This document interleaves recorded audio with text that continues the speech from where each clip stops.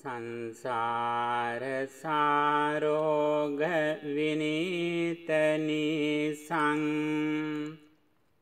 සන්නීත සාතං සුචිසාරදේසං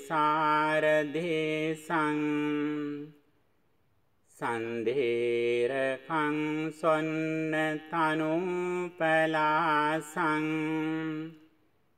සංලාපදේසින් පනමේ බෙසාසං. හොඳයි පින්නතුනි ධර්ම ශ්‍රවණයට පෙර පංචශීලයේ සමාදන් වීමට සූදානම් වන්න নমස්කාරය කියන්න.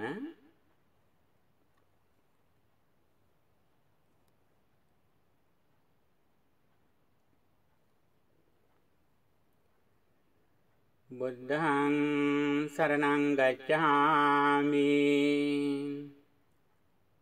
ධම්මං සරණං ගච්ඡාමි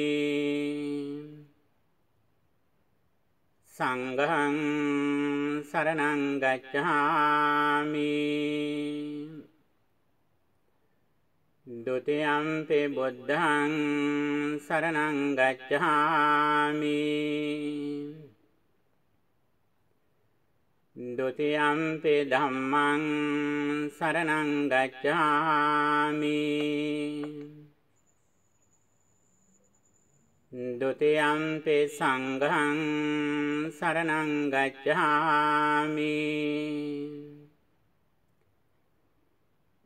တတိယံ පි බුද්ධං සරණං ගච්ඡාමි සතියම්පි ධම්මං සරණං ගච්ඡාමි।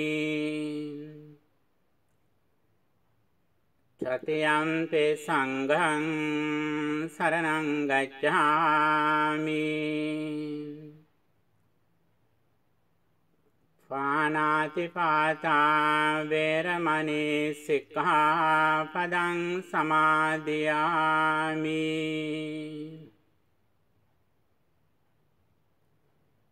අදින්නාදානා වේරමණී සික්ඛාපදං සමාදියාමි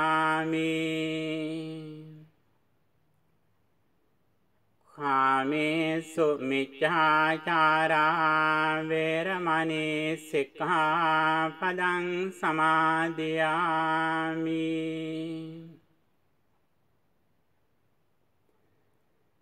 මුසාවාදා වේරමණී සික්ඛාපදං සමාදියාමි.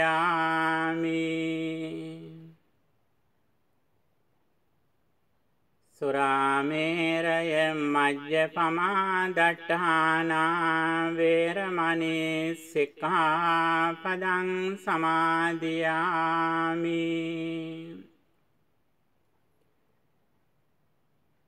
තිසරණේන සන්ධින් පංචශීලං ධම්මං සාදුකං සුරක්ඛිතං කତ୍වා අප්පමාදේන සම්පාදේත.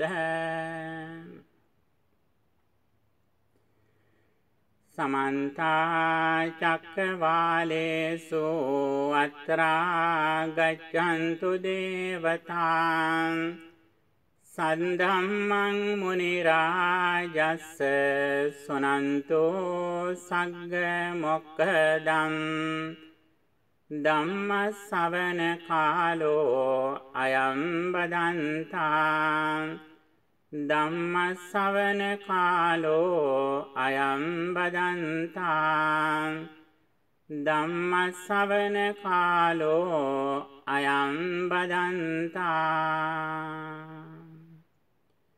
නමෝ තස්ස භගවතෝ අරහතෝ සම්මා සම්බුද්දන්ස නමෝ තස්ස භගවතෝ අරහතෝ සම්මා සම්බුද්දන්ස නමෝ තස්ස භගවතෝ අරහතෝ සම්මා සම්බුද්දන්ස තයෝ මේ භික්කවේ පුග්ගලා ලෝකේ uppajjamana uppajjanti බහුජන හිතාය බහුජන සුඛාය අත්ථාය හිතාය සුඛාය. දේව මනුස්සානන්ති.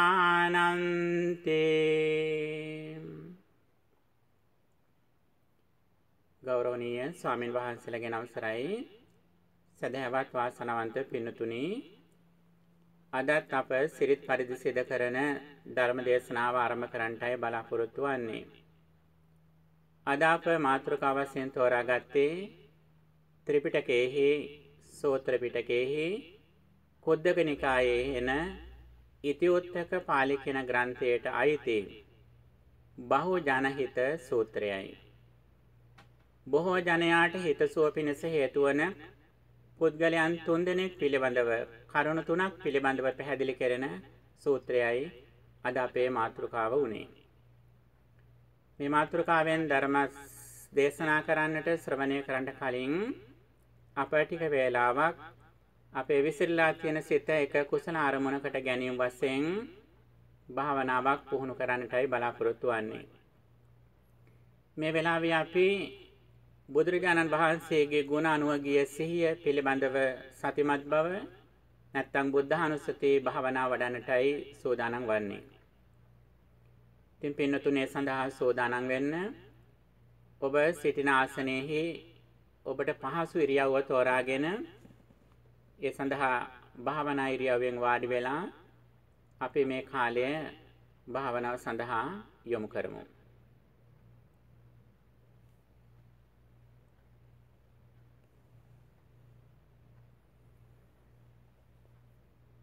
හොඳයි පිනතුනි ඔබේ ශරීරය සැහැල්ලු කරගන්න.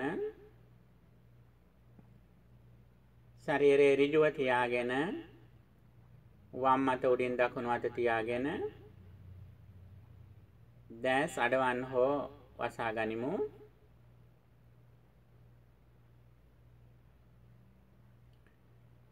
ඔබ සිටින ඉරියව්ව හිස සිට පාදාන්තය දක්වාත් දෙපා සිට හිස දක්වාත් ඉඳගෙන ඉන්න ඉරියව්ව ගැන මදක් අවධානය යොමු කරන්න සතිමත් බව ඇති කරගන්න.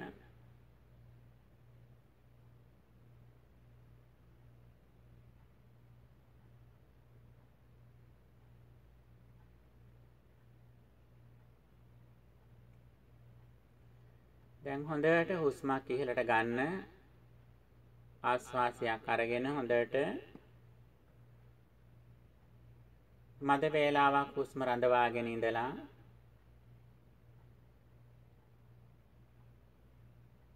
සැහැල්ලුවෙන් හෙමින් නැවත හුස්ම පිට කරන්න.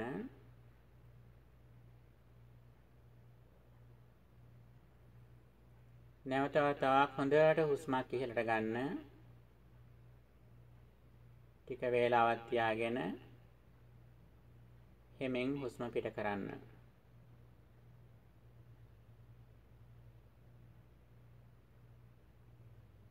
හොඳට ශරීරය සැහැල්ලු කරගන්න.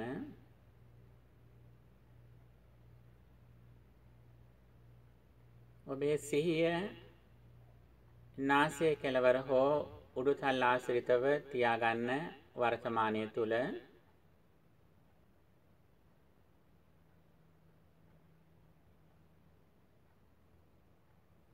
සිහිය නාසය ආශ්‍රිතව සිහියෙන් පවත්වා ගනිමින් දැන් අපි බුද්ධ අනුස්සති බහන වඩන්නටයි බලාපොරොත්තු වෙන්නේ.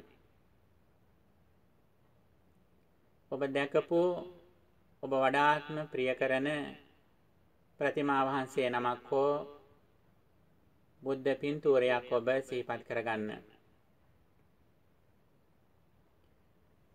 බුදුරජාණන් වහන්සේ එදා සම්බුද්ධත්වයට පත්වෙච්ච මොහොතෙහි බුද්ධ ගයාවෙහි ජයශ්‍රී මහා බෝධි මූලයේහි වජ්‍රාසනය මත සිටිනවා කියන හැඟීම ඇති කරගෙන අප සරණ ගිය අපේ ශාස්ත්‍රෝ වූ බුදුරජාණන් වහන්සේ තුල පැවති උන්වහන්සේගේ ඥානය, මෛත්‍රිය, කරුණාව, ප්‍රඥාවාදී බුදු ගුණ දැන් අප සිහිපත් කරන්නටයි බලාපොරොත්තු වෙන්නේ.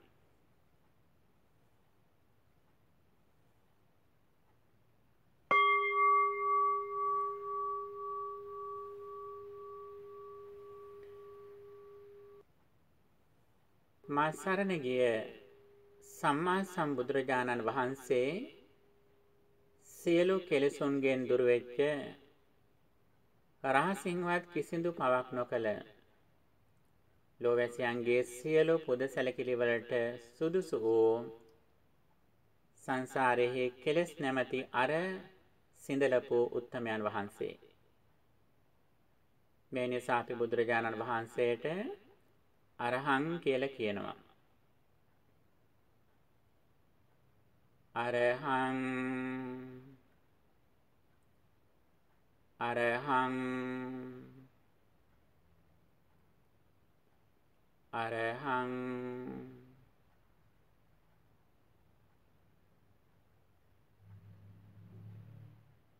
සම්මා සම්බුදුරජාණන් වහන්සේ වෙනත් කිසිදු කෙනෙකුගේ මඟ පෙන්වීමක් නොමැතිව උන්වහන්සේගේ උත්සාහයෙන් ඥාණයෙන් දුක්ඛාදී චතුරාර්ය සත්‍ය අවබෝධ කරගත්තා. උන්වහන්සේගේම නුවණින් චතුරාර්ය සත්‍ය අවබෝධ කරගත් මේ ගුණයට අපි කියනවා සම්මා සම්බුද්ධ කියලා.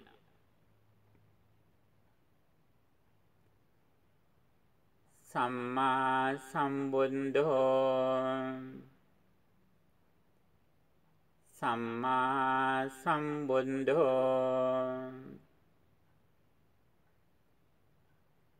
සම්මා සම්බුද්ධෝ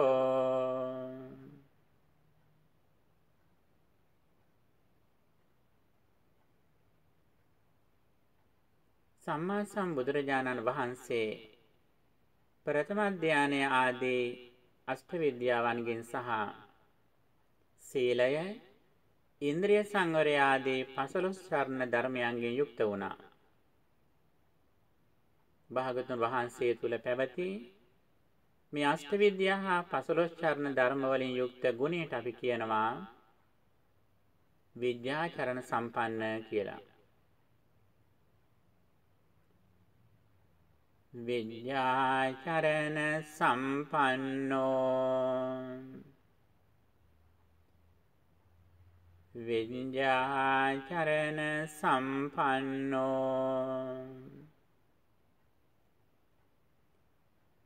විඤ්ඤාචරණ සම්පන්නෝ.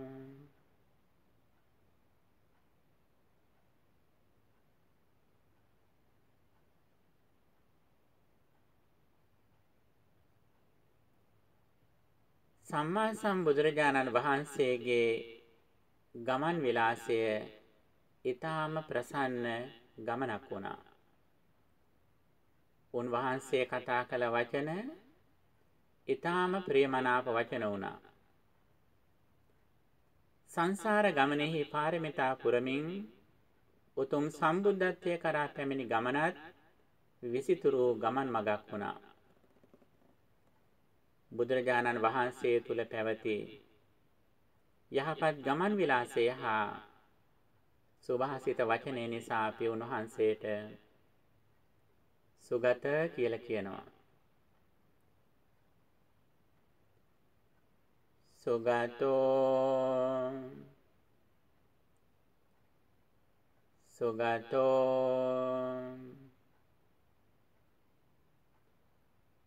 සුගතෝ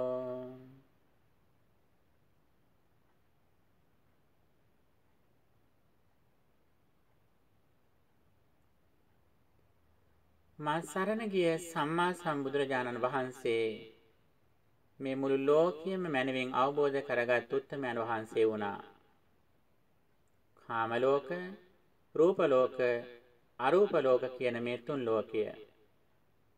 ඒ වගේම සත්ව ලෝක, සංස්කාර ලෝක, අවකාශ ලෝක කියන මේ තුන් ලොව අතෙඹුලක්සේ මනවින් පසක් කළා. බුදුරජාණන් වහන්සේ තුල පැවති මේ ලෝකාවබෝධයට අපි කියනවා ලෝකවිදූ කියලා. ලෝකවිදූ ලෝකවිදූ ලෝකවිදූ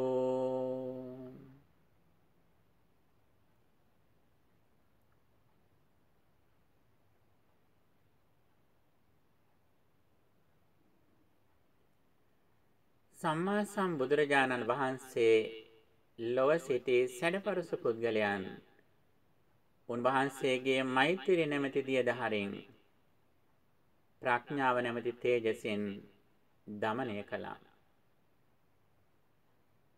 බුදුරදුන් තුල පැවති පුරුෂයන් দমনය කිරීමේ අනුත්තරීය වූ ගුණයට අපි කියනවා අනුත්තර පුරිස ධම්ම සාරතේ කියලා. අනුත්තරෝ පුරිස ධම්ම සාරතේ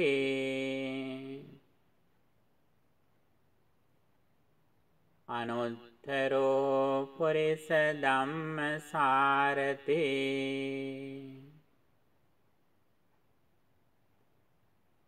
අනුත්තරෝ පුරිස ධම්ම සාරතේ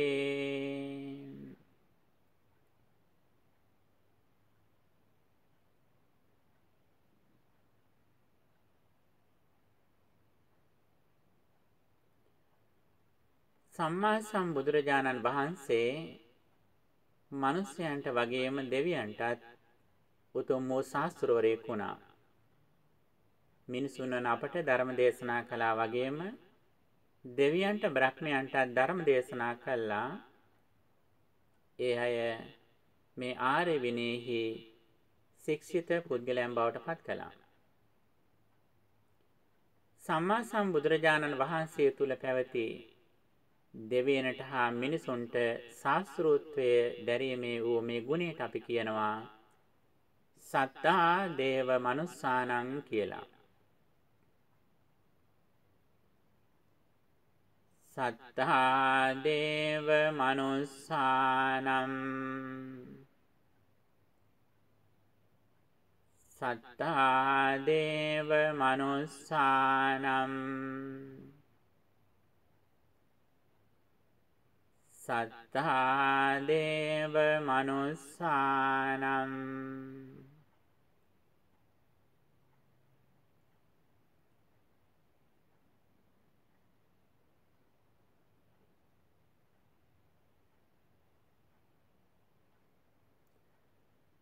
බුදුරජාණන් වහන්සේ අවබෝධ කරගත් දුක්ඛ සමුදය නිරෝධ මග්ග කියන මේ චතුරාර්ය සත්‍යය අන් අයගේත් අවබෝධය සඳහා දේශනා කළා. අවබෝධයට පත්වෙච්ච බුදුරජාණන් වහන්සේ බුද්ධෝසෝ භගවා බෝධහය ධම්මන් දේශිති කියපු ආකාරයට අන් අයගේ අවබෝධය සඳහා ධර්ම දේශනා කළා. බුදුරදුන් තුල පැවති මේ චතුරාර්ය සත්‍ය දේශනා කිරීමෙහි උතුම් සම්බුදු ගුණයට අපි කියනවා බුද්ධ කියලා. බුද්ධෝ බුද්ධෝ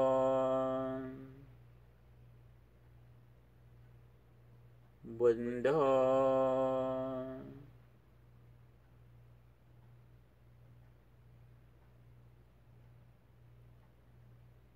සම්මා සම්බුදුරජාණන් වහන්සේ මේ ලෝකේ පහළ වුණු උතුම්ම භාග්‍ය සම්පන්න උත්තමයන් වහන්සේ බවට පත් වුණා. උන්වහන්සේ රාග, ద్వේෂ, මෝහ කියන මේ අකුසල මූලයන් සපුරාම දුරු කළා, භග්න කළා. උතුම් පූජාවන්ට උත්තමයන් වහන්සේ සහ රාගාදී කෙලෙස් සපුරා දුරු කරපු මේ ගුණයට අපි කියනවා භගවා කියලා.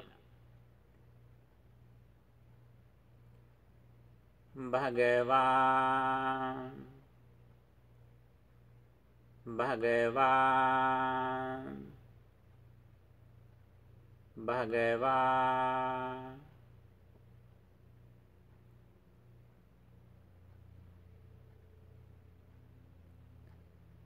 බුදුරජාණන් වහන්සේ තුළ පැවති මේ අරහං ආදී එකිනෙක සම්බුදු ගුණ අසරිමත් බුදු ගුණ අපි මුල සිට අග දක්වාත් අග සිට මුල දක්වාත් pāli භාෂාවෙන් සජ්ජහනා කරමින් සම්බුදු ගුණය තුළ අපේ සිත එකඟ කරගන්නවා සමාධිමත් කරගන්නවා. ඒ අතර අවසානයේදී ඔබට එක බුදු ගුණයක් වඩාත් වැඩි වේලාවක් සිහිපත් කරමින් සිත එකඟ කරගන්නට ඔබට හැකියාව තියෙනවා. අරහං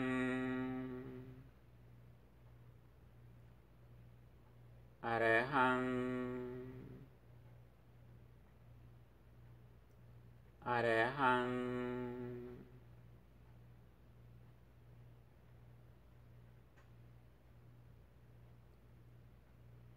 සම්මා සම්බුද්ධෝ සම්මා සම්බුද්ධෝ සම්මා සම්බුද්ධෝ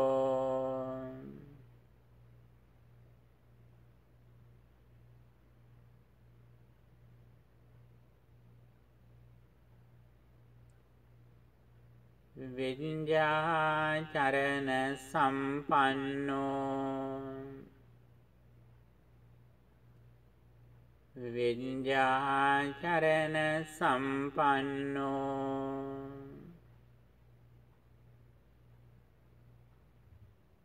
විඤ්ඤාචරණ සම්පන්නෝ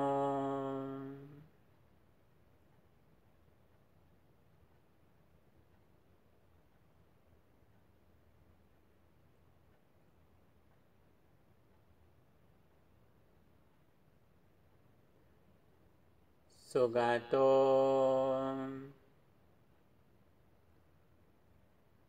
สุกาโต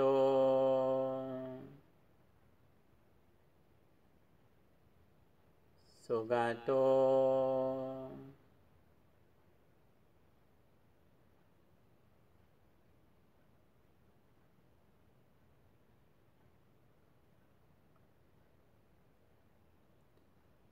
ලෝකවිදෝ ලෝකවිදෝ ලෝකවිදෝ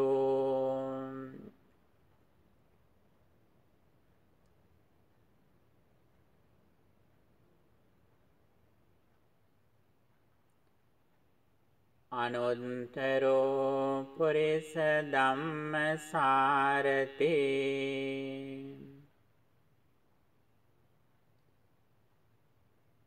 අනුත්තරෝ පුරිස ධම්ම සාරතේ.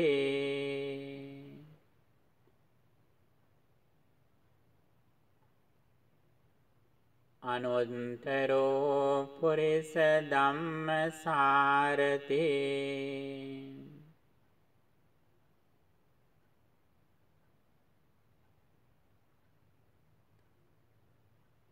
සත්තා දේව මනුස්සානම්. සත්තා දේව මනුස්සානං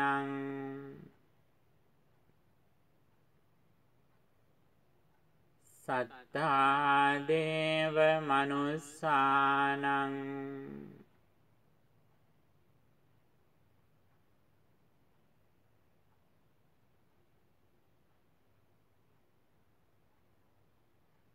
බුද්ධෝ බුද්ධෝ බුද්ධෝ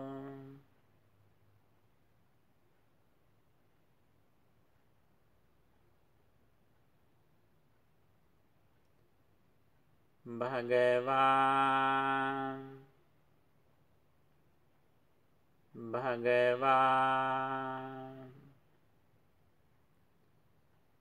භගවා।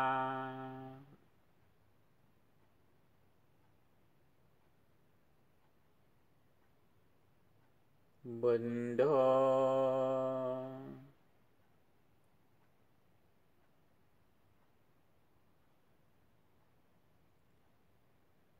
සත්තා දේව මනුස්සානං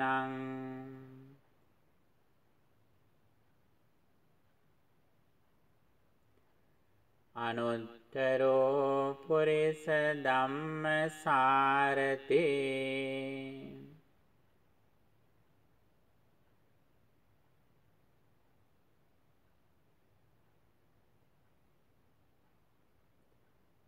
ලෝකවිදු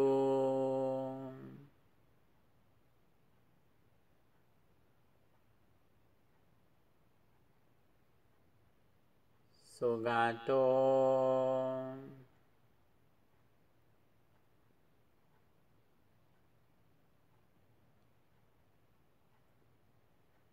විඤ්ඤාචරණ සම්පන්නෝ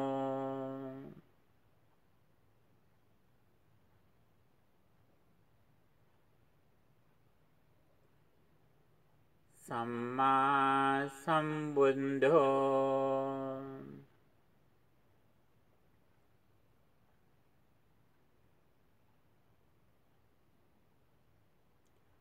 අරහං අරහං අරහං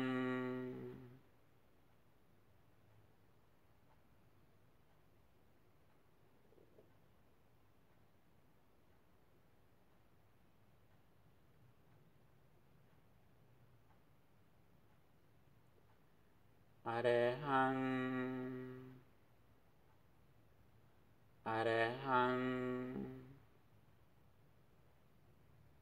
අරහං.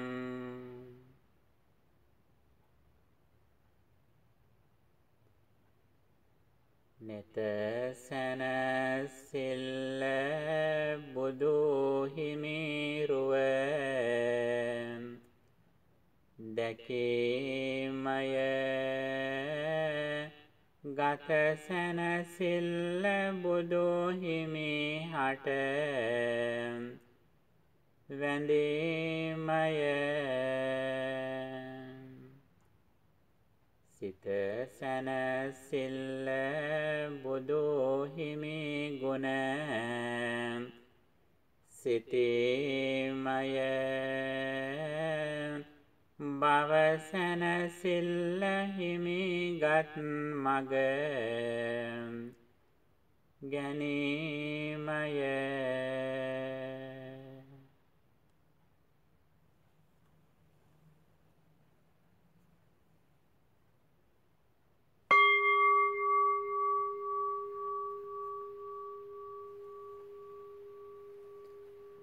ශ්‍රද්ධාවන්ත පින්නතුනි මෙතන පටන් අප අදට නියමිත ධර්ම දේශනාව ආරම්භ කරන්නටයි බලාපොරොත්තු වෙන්නේ. මුලින් සඳහන් කළ විදියට අද අප මාතෘකාව වශයෙන් තෝරාගත්තේ කුද්දක නිකාය කියන ග්‍රන්ථයට අයිති ඉතිවොතක පාළියේන බහෝ ජනහිත සූත්‍රය. පින්තුනි මේ ධර්ම දේශනාව විමුක්තායතනයක් වෙන නම් කෙලෙස් සංසිඳන අවස්ථාවක් කරගන්න නම් අප ධර්ම දේශනාව ආරම්භයේ පටන්ම අපේ හිත හොඳට අපි පවත්වා ගන්නට ඕන. ඔබට යම්කිසි කෙනෙක් පේනවා නම් කෙනෙක්ගේ ශබ්දයක් ඇහෙනවා නම් කෙනෙක් සිහිපත් වෙනවා නම් ඒ හැමදෙනාම සුවපත් වෙත්වා කියන සිතවිල්ල මේ කාලය පුරාම පවත්වා ගන්න උත්සාහ කරන්න. ඒ හැමදෙනාම සුවපත් වෙත්වා සුවපත් වෙත්වා සුවපත් වෙත්වා කියන ප්‍රාර්ථනාවෙන්ම මේ ධර්ම දේශනය පුරාම ඉන්නට අදිස්ථාන කරගන්න. අනිත් අතින් ඔබේ හිත ගැන නිතර අවධානයෙන් ඉන්න. හිතට මේ මොහොතේ පහළ වෙලා තියෙන කොයි වගේ සිතුවිල්ලක්ද කියන එක ගැන හොඳ අවධානයෙන් ඉන්න. මේ මොහොතේ මගේ සිත මෛත්‍රියෙන්ද තියෙන්නේ? කෙනෙක් ගැන අමනාපයෙන්ද තියෙන්නේ? පරිත්‍යාගශීලීත්වයෙන්ද තියෙන්නේ? සතිමත් භවෙන්ද තියෙන්නේ? ප්‍රඥාවෙන්ද තියෙන්නේ? මෙන්න මේ කරුණ ගැන නිතර අවධානයෙන්ම මේ කාලය පුරා ධර්ම ශ්‍රවණය කරන්නට අදිස්ථාන කරගන්නට. බුදුරජාණන් වහන්සේ දේශනා කරපු හැම දහම් පදයකින්ම අපට අනුශාසනා කළේ අපේ නුවණ ප්‍රඥාව දියුණු කරගන්නටයි.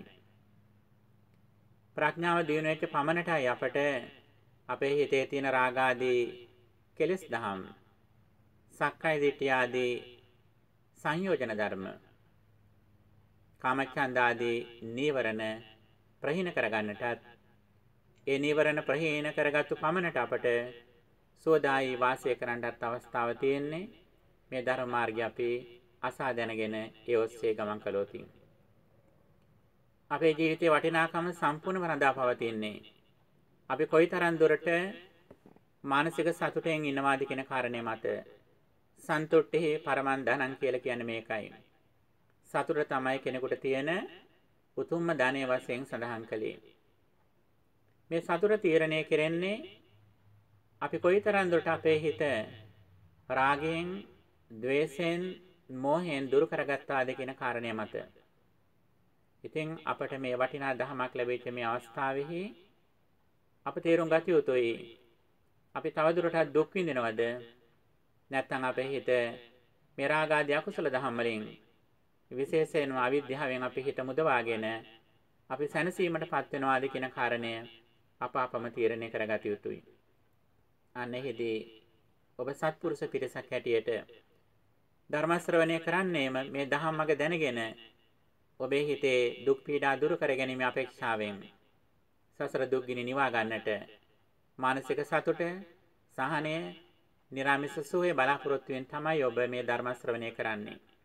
ඉතින් ඔබ ඒ සුවච බව තුළින් ගුණයක් ඉස්මතු කරමින් අතීත කුසලයේ ආනිසංස ලබා ගන්න මේ අවස්ථාවේ ඔබ උපරිම ලෙස දක්ෂ වෙන්නට ඕන මේ දහම් මඟ ඊටාම අනුපිළිවෙලින් මනවින් සාවධානව සිහියෙන් සහ නුවණින් මෙනෙහි කරමින් ශ්‍රවණය කළා ඒ තුල හැකිතාක් දුරට තමාගේ ජීවිත පවත්වා ගන්නට ඔබ දක්ෂ වෙන්නට ඕන. අද අප සාකච්ඡා කරන බහු ජනහිත සූත්‍රයෙන් බුදුරජාණන් වහන්සේ දේශනා කරන්නේ. උන්වහන්සේ පැහැදිලි කරන තයෝ මේ භික්ඛවේ පුද්ගලා ලෝකේ uppajjamana uppajjanti. බහු ජනහිතාය බහු ජන සුඛාය අත්තාය හිතාය සුඛාය දේව මනුස්සානං කියලා. මේ ලෝකේ තුන් දෙනෙක් පහළ වෙනවා. මේ තුන් දෙනා දෙවියන් මිනිසුන් සහිත මේ ලෝකයාට බොහෝ හිත වැඩ පිණිස අර්ථය පිණිස සුඛය පිණිස කටයුතු කරනවායි කියලා. කවුද තුන් දෙනා? පළවෙනි තැනැත්තා තමයි අරහං සම්මා සම්බුද්ධෝ කියන ලෝකේ කල්පාන්තර ගානකට වරක් පහළ වෙන සම්මා සම්බුදුරජාණන් වහන්සේ කෙනෙකුගේ පහළවීම දෙවියන් මිනිසුන් සහිත ලෝකයාට හිතසුව පිණිස හේතු වෙනවා කියලා දේශනා කළා. ඒ තමයි පළවෙනි තැනැත්තා. දෙවෙනි කරුණ විදියට දේශනා කළේ බුදුරජාණන් වහන්සේ සත්තු ශාවකෝ අරහං කීනාසවෝ. ශාස්ත්‍රවරයෙක්ගේ ශ්‍රාවකත්වයට පත්වෙච්ච සියලු කෙලෙසුන් දුර කරපු රහතන් වහන්සේ.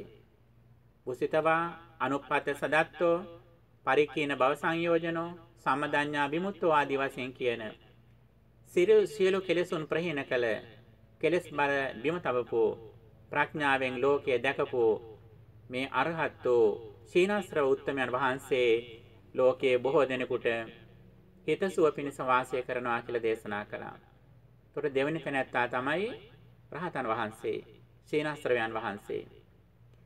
ඊළඟට තුන්වෙනි තැනැත්තා වශයෙන් දේශනා කළේ සේකෝ හෝති පටිපදෝ බහුසුතෝ සීලවතෝ උපපන්නෝ.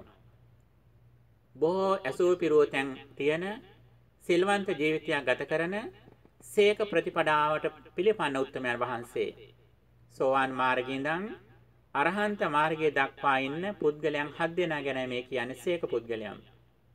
සේක කියන්නේ තවදුරටත් හික්මෙන් ඉන්න හික්මෙමින් ඉන්න ශ්‍රද්ධාවට බැසගත්තු විශේෂයෙන් ආර්යශ්‍රැංගික මාර්ගයට නිසිසේ බැසගත්තු නිර්වාණය නැමැති සාගරය කරා යන ආර්ය අෂ්ටාංගික මාර්ගයේ නැමැති ස්රෝතයට දියපහරට වැටිච්ච අනිවාර්යම නිවන කරා යන පුද්ගලයා අවිනිපාත ධම්මෝ නියතෝ සම්බෝධි පරායනෝ කියලා සඳහන් කරන්නේ මේ සේක පුද්ගලයාගේ ලක්ෂණ. මෙන්න මේ තුන් දෙනා ලෝකයටයි යහපත වන්නේ කියන එක අපි සලකලා බලන්නට ඕන. ඒකට හේතුව තමයි උන්වහන්සේලා පහළ වෙන ඊටාම කල්පාන්තරයකට වරා. මේ ලෝකේ වැඩිපුර තියෙන බුද්ධ ශූන්‍ය කල්ප. බුද්ධ කියන වචනේවත් අහන්නට නොලැබෙන අබුද්ධෝත්පාද කාල ගුණයක් දහමක් ලෝ නොපවතින කාල තමයි අති දීර්ඝ කාලයක් කල්පයන් පවතින්නේ.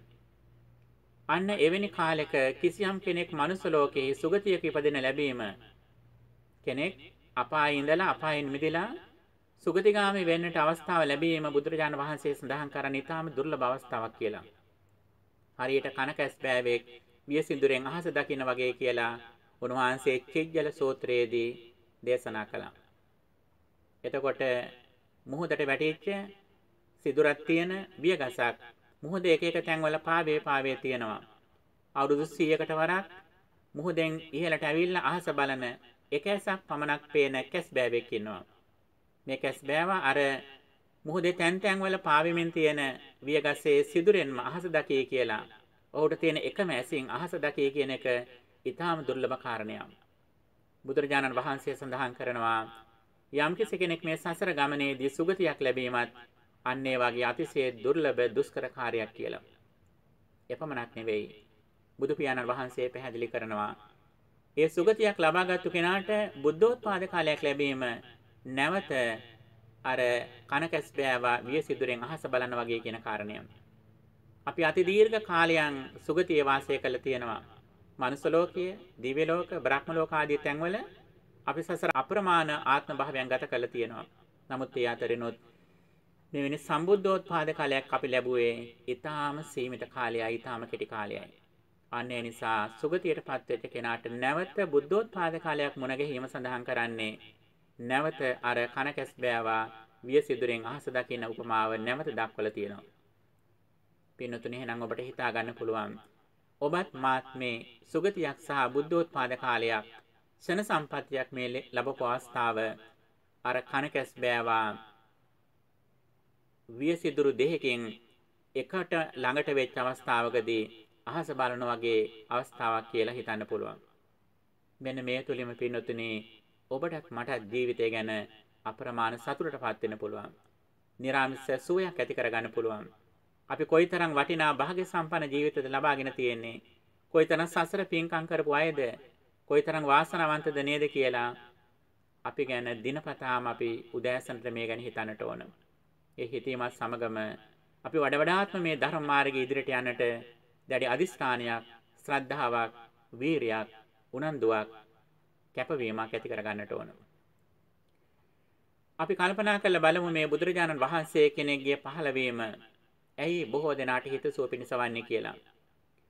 එවැනි උත්තමයන් වහන්සේ කෙනෙක් ලෝකයේ පහළ වෙන අති දීර්ඝ කාලයකට වරක් ඒ தත්ත්වයටපත් වීම තියා පෙනුතුනේ ඒ සඳහා අවශ්‍ය කරන ගුණධම් පාරමිතා සම්පූර්ණ කිරීම සාමාන්‍ය කෙනෙකුට හිතා ගන්නවත් බැරි තරම් ඊටාම දුර්ලභ දෙයක්. සෝසාගරයේ ජල දෙකන් රුධිරන් අදාසේ බුහුමින් පරාජය පරං සමදාසි දානම් මේරුප්පමාන මදිකංච සමෝලි සීසං කේතාරකාදික තරං නයනං අදාසී කියලා සඳහන් කරනවා. උන්වහන්සේ සසර පාරමිතා පුරණ කාලයේදී මහා සාගරයේ ජලයට වඩා උන්වහන්සේ සම්බුද්ධත්ව අපේක්ෂාවෙන් ශරීරයේ ලේ දන් දීලා තියෙනවා. උන්වහන්සේගේ ශරීරයේ සම මස් දන් දීපු අවස්ථාවල ඒ මස් එකතු කරෝතින් මේ මහා පෘථිවියේ පස්සලට වඩා ප්‍රමාණයක් බුද්ධත්වයේ උදෙසා පාරමිතා වශයෙන් උන්වහන්සේ සිය සිරුරෙහි මස් දන් දීලා තියෙනවා. ඒ විතරක් නෙවෙයි මහා මේරු පර්වතයට වඩා උන්වහන්සේ සුගතියේ ඉපදෙලා රජකම් දරන අවස්ථාවලදී ඔටුනු පලං හිස් දන් දීලා තියෙනවා. එපමණක් නෙවෙයි. අහසේ තාරකාවලට වඩා මේ සම්බුද්ධත්වයේ සඳහා ප්‍රඥාව නැමැති ඇස ලබා ගැනීම සඳහා සිය මසස දන් දීලා තියෙනවා. මෙන්න මෙවැනි කැපවීමක ප්‍රතිඵලයක් විදියටයි ලෝකයේ කෙරෙහි අපරිමිත කරුණාවෙන් බුද්ධෝහං බෝධිස්සාමි මම බුද්ධත්වයට පත් වෙලා ලෝකයටත් අවබෝධය ලබා දෙනවා. මුත්තෝහං මෝචේ පරේ මා සසර දුකෙන් මිදෙන ලෝකයක් මුදවනවා. ඒ වගේම තින්නෝහං තාරිස්සාමි සංසාරෝගා මහබ්බය මේ සසර සංසාර ඕගේ නැමැති මහා සාගරයෙන් මාත් ඈතර වෙලා අනිත් අයත් ඈතර කරනවා කියන ඊටාම සත්පුරුෂ කරුණාධ්‍යාසේනොයි සම්මා සම්බුදුරජාණන් වහන්සේ කෙනෙක් දාන ආදී පාරමිතා පුරලා අති දීර්ඝ කාලයක කැපවීමක ප්‍රතිඵලයක් ලෙස මේ ලෝකයේ පහළ වෙන්නේ. ඉතින් පින්නතුනි ඔබත් මා ජීවත් වෙන්නේ එවැනි සම්මා සම්බුදුරජාණන් වහන්සේ කෙනෙක් වැඩ ඉන්න හා සමානව සද්ධර්මයේ තියෙන කාලයකයි ජීවත් වෙන්නේ කියන එක ගැන අපි නිතිපතාම හිතලා සතුටටපත් වෙන්නට ඕන. ඊළඟට සඳහන් කරනවා මේ උත්තමයන් වහන්සේ බොහෝ දෙනාට හිතසුව පිණිස පවතින්නේ කොහොමද? සෝ ධම්මං දේශේති ආදි කල්යාණං මජ්ජේ කල්යාණං පරිෝසానే කල්යාණං සාත්තං සබ්බ්‍යංජනං කේවල පරිපූර්ණං පරිසුද්ධං බ්‍රහ්මචාරියං පකාසේති සම්මා සම්බුදුරජාණන් වහන්සේ ධර්ම දේශනා කරනවා. මුල යහපත් වනසේ මැද යහපත් වනසේ අග යහපත් වනසේ අර්ථ සහිතව ව්‍යංජන සහිතව හාත්පසින් පරිපූර්ණ ලෙස මේ පිරිසිදු බ්‍රහ්මචර්යාව ලෝකෙට දේශනා කරනවා. මුල යහපත් සීලය යහපත් මැද සමාධිය යහපත් අග ප්‍රඥාව යහපත්. සීල සමාධි ප්‍රඥා කියන මේ ත්‍රිවිධ ශික්ෂාව මැනවින් අර්ථ සහිතව ව්‍යංජන සහිතව අර්ථ සහිතව ලෝකයේ කෙරෙහි දේශනා කළා මේ ලෝකයාටත් සසර දුකෙන් නිදහස් වන්නට උන්වහන්සේ මාර්ගය පෙන්වනවා. බුදුරජාණන් වහන්සේ කෙනෙක් ලෝකයේ පහළ වීමෙන් අපට ලැබෙන ප්‍රධානතම අනිසංසය තමයි උන්වහන්සේ සුගතිගාමි වීමේ මාර්ගය ලෝකෙට පැහැදිලි කළ දෙනවා.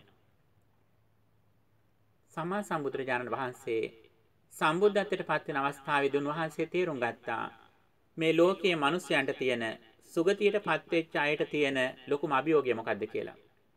ඒ තමයි මරණයට පත් වෙන බොහෝ දෙනෙක් මිය ගිහින් ඉපදෙන්නේ දුගතිගාමී ස්ථානවල.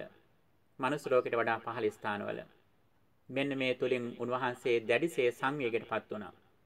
මේ ලෝකේ සත්‍යයන් කොයිතරම් අසරණද කියලා. ඇතැමිට හොඳට ඉගෙන කියාගත්තු අය, මහත් ධනයක් තිබෙච්ච අය, දූ දරුවන් හොඳට හිටපු අය, බොහෝම සුවසේ සුඛෝභෝගී ජීවිත ගත කරපු අය. ඒ අය මේ යනවා මිය ගිහින් ඉපදෙන්නේ සැපයෙන් පහ වෙච්ච, සැපයෙන් දුර වෙච්ච දුගතිගාමී ස්ථානවල විශේෂයෙන් പ്രേත ලෝකේ නැත්තම් තිරිසන් ලෝකේ බොහෝ දෙනෙක් නිරයට යන අවස්ථා තියෙනවා. පින්නතුනි මෙන්න මෙවැනි ජීවිත අභියෝගයක් අප ඉදිරියේ තියෙන නිසා තමයි බුදුරජාණන් වහන්සේ මුලින්ම අපට ධර්ම දේශනා කරන්නේ සබ්බපාපසකරණං කුසල සුපසම්පදා කියපු විදියට සියලු පාපයන්ගෙන් මිදලා කුසල කරන්න දාන සීල භාවනා කියන මේ ත්‍රිවිධ පුණ්‍ය ක්‍රියා ලෞකික කුසල සිද්ධ කරන්න කියලා උන්වහන්සේ අනුශාසනා කරනවා. මෙන්න මෙහිදී සුගතිගාමී වීමේ මාර්ගය බුදුරජාණන් වහන්සේ තාම පැහැදිලිව දේශනා කරනවා. ඒ තමයි ශ්‍රද්ධාව, සීලය, ශ්‍රුතවත් බව, ත්‍යාගවන්ත භාවය, ප්‍රඥාව කියන මෙන්න මේ කරුණු පහ. සුගතිය ගැන දේශනා කරන බොහෝ සූත්‍රවල මහා නාම සූත්‍රය ආදී බොහෝ සූත්‍රවල බුදුරජාණන් වහන්සේ පැහැදිලි කරන්නේ මේ කරුණු පහ. ශ්‍රද්ධාව, සීලය, සෘතවන්ත භාවය, ත්‍යාගවන්ත භාවය සහ ප්‍රඥාව කියන මේ කරුණු පහ. මෙතෙන්දී ප්‍රඥාව කියන්නේ සම්මාදිට්ඨිය මුල් අවස්ථාව වන කම්මසකතා සම්මාදිට්ඨිය සහිතව බුදුරජාණන් වහන්සේගේ ධර්මය ගැන ශ්‍රද්ධාවෙන් සිල්වත්ව ශ්‍රෘතවත් භාවය ඇති කරගෙන පරිත්‍යාගශීලීත්වයේ පුරුදු කිරීම මරණයන් මැත්තේ දුගතිගාමී නොවෙන්නට රැකවරණයක් පිළිසරණක් සලසා ගන්නට අපට හේතු වෙනවා. මෙන්න මේ ස්ථාවරත්වය සලසාගත්තු කෙනා තවදුරටත් කල්යාණ මිත්‍රත්වයේ පහස ලැබමින් ධර්ම ශ්‍රවණය කිරීමේ ප්‍රතිඵල විදියට ඒතනත්තාට කම්මසකතා සම්මාදිට්ඨිය ඉක්මවලා ඔහුට චතුසත්‍ය සම්මාදිට්ඨිය නැත්තම් අරියා අනාසවා ලෝකුත්තරා මග්ගංගා කියපු විදියට ආර්ය වූ අනස්රව වූ ලෝකෝත්තර වූ ආරස්මික මාර්ගයට අංගයක් වූ මේ සම්මාදිට්ඨියත් ඉගෙනගෙන චතුරාර්ය සත්‍ය සම්මාදිට්ඨිය පිළිබඳව අවබෝධයෙන් මෙතනත්තාට සපුරාම දුකෙන් නිදහස් වෙන මාර්ගයක් දේශනා කළා. ඒ තමයි ආරස්මංගික මාර්ගය නැත්තම් සතර සතිපට්ඨානය නැත්තම් සීල සමාධි ප්‍රඥා කියන මේ ත්‍රිවිධ ශික්ෂාව. මෙන්න මෙහි ගමන් කිරීමේ ප්‍රතිඵල ලෙස ඒ තැනැත්තාගේ විශේෂයෙන් ගුණ පහක් වැඩෙනවා. ඒ තමයි සද්ධා, විරිය, සති, සමාධි, ප්‍රඥා. අර මුලින් සඳහන් කළ කරුණ පහෙත් මීට සමගාමී කරුණ යනවා. එතන යන්නේ ශ්‍රද්ධාව, සීලය, ශ්‍රුතය, ත්‍යාගය, ප්‍රඥාව කියලා. මෙතෙන්දී ඒක ටිකක් වෙනස් වෙනවා. සද්ධා, විරිය, සති, සමාධි, ප්‍රඥා කියන කරුණු පහක් බවට පරිවර්තන වෙනවා. මෙතෙන්දි පින්නතුනේ අර චතුරාර්ය සත්‍ය දුක පිළිබඳව නිසිසි අවබෝධය ලබාගෙන දුක්ඛෝපනිසා සද්ධා කියන අවබෝධයෙන් සද්ධාති තථාගතස්ස බෝධින් කියන අවබෝධයෙන් බුදුරජාණන් වහන්සේ චතුරාර්ය සත්‍ය අවබෝධ කර ගැනීම පිළිබඳව විශ්වාසයෙන් ඔහුට සැබෑ ලෙසම ශ්‍රද්ධාව හට ගන්නවා. අන්නේ ශ්‍රද්ධාව තමන්ගේ ශරීරයේ සම මස් නහර ඇට ඇට මිදුළු කරා විනිවිද ගිහිල්ලා දැඩි වීරියක් බවට පත් වෙනවා ඉක්මනින්ම මේ දුකෙන් නිදහස් වෙන්න ඕන කියලා. ශ්‍රද්ධාවෙන් වීරියත් ඒ වගේම සතිමත් බවත් සමාධිමත් බව සහ ප්‍රඥාව ආර්ය ප්‍රඥාව විපස්සනාව වඩන කෙනෙක් බවට පත් වෙනවා. මෙන්න මේක තමයි සම්මා සම්බුදුරජාණන් වහන්සේ කෙනෙක් දේශනා කරන සුගතිගාමි වෙන මාර්ගය සහ දුකෙන් නිදහස් වීමේ නැත්නම් නිර්වාණගාමි මාර්ගය. මෙන්න මේ පුද්ගලයා ලෝකයේ බොහෝ දෙනාට දෙවියන් මිනිසුන් සහිත බොහෝ දෙනාට හිතසුව පිණිස කටයුතු කරනවා කියන්නේ මේකයි. ලෝකයේ බොහෝ දෙනෙකුට උන්වහන්සේට තියෙන කාලෙන් උපරිම ප්‍රයෝජන ලබාගෙන දවසට පැය දෙකක් වැනි තාම සීමිත කාලයක් විවේකගෙන අනිත් සියලු කාලය උන්වහන්සේ කැප කරන්නේ දෙවියන් බඹුන් මිනිසුන් සහිත මේ ලෝකයාට සංසාර ගමනේදී සුගතිගාමි වෙන්නටත් පුඤ්ඤාභි සංඛාර සහ ආනෙන්ජාභි සංඛාර සකස් කරගන්නට සුගතිගාමි මාර්ගය කියා දෙන්නට අනිත් පැත්තෙන් අවිද්‍යාවෙන් සපුරාම නිදහස් වෙලා අවිද්‍යායත්වේව අශේෂ විරාග නිරෝධා සංඛාර නිරෝධෝ කියන අවබෝධය සහිතව අවිද්‍යාව දුරු වෙන ආකාරයට සංසාර චක්‍රේ නිදහස් වන ආකාරයට අත්ති බික්කවේ කම්මං අකන්නසුක්ඛං අකන්නසුක විපාකං කම්මක්ඛය සංවත්ති කියලා සඳහන් කරපු ආකාරයට සුදුත් නොවන කලුත් නොවන කර්ම විදියට දේශනා කරපු එහිදී ප්‍රයෝගාභි සංඛාර වශයෙන් සඳහන් කරපු කර්මක්ෂය කිරීම සඳහා හේතු වන සීල සමාධි ප්‍රඥා නැත්තම් විශේෂයෙන්ම විදර්ශනා ඥානෙ වඩන හැටි උන්වහන්සේ පැහැදිලි කළ දුන්නා. මේක තමයි ලෝකයේ අති දීර්ඝ කාලයකට වරක් පහළ වෙන සම්මා සම්බුදුරජාණන් වහන්සේ කෙනෙක් ලෝකට දේශනා කරන සුගතිගාමී මාවතත් නිවන් දැකීමේ මාවතත් වෙන්නේ. බුදුරජාණන් වහන්සේ පමණක් නෙවෙයි උන්වහන්සේ වෙත පැවිදි වෙච්ච උත්තමයන් වහන්සේලා විශේෂයෙන් රහත් භාවයට පත් වෙච්ච උත්තමයන් වහන්සේලාත් ක්‍රියා කරන්නේ මෙන්න මේ බලාපොරොත්තුවෙන්මයි. ලෝකයට යහපත කරන දෙවෙනි පුද්ගලයා ලෙස බුදුරජාණන් වහන්සේ සඳහන් කරන්නේ අරහං හෝති කීනාසවෝ උසිතවා කතකරණීයෝ අනුප්පත සදත්තෝ ඕහිත බාරෝ ඒ වගේම පරික්කීන භව සංයෝජනෝ සම්මදඤ්ඤා විමුක්තෝ කියපු විදියට මේ කෙලෙස් බර සම්පූර්ණ බිමින් තියපු බැස නිම වූ බඹසර ඇති ප්‍රඥාවෙන් ජීවිතය දැකපු රහතන් වහන්සේ. උන්වහන්සේ කාමච්ඡන්ද ආදී නීවරණ සම්පූර්ණයෙන්ම දුරු කළා. සක්කාය දිට්ඨිය ආදී සංයෝජන ධර්ම දුරු කරලා දිට්ඨිය ආදී අනුසේ ධර්ම සම්පූර්ණ ප්‍රහීන කරපු අවිද්‍යාවෙන් සපුරා නිදහස් වුණෝ නැවත භවයකට නොයන සසර ගමන නිමාවටපත් කරපු උත්තමයන් වහන්සේ. උන්වහන්සේ තවදුරටත් ලෝකේ ජීවත් වෙනවා. උන්වහන්සේ සෝපදිශේෂ නිර්වාණ ධාතුවට පත් වෙලා ඉන්නේ. උන්වහන්සේට ක්ලේශ උපදි නැති වුණාට, සංස්කාර උපදි නැති වුණාට, උන්වහන්සේ තව දුරටත් මේ ඛණ්ඩ උපදී. ස්කන්ධ උපදී. අතීත කර්ම විපාක විදිහට ලැබිච්ච මේ ස්කන්ධ පංචකය පරිහරණය කරමින් සෝපදිශේෂ නිර්වාණ ධාතුවේහි සුවය භුක්ති විඳිමින් උන්වහන්සේ තව දුරටත් මේ ලෝකයා සඳහා කටයුතු කරනවා.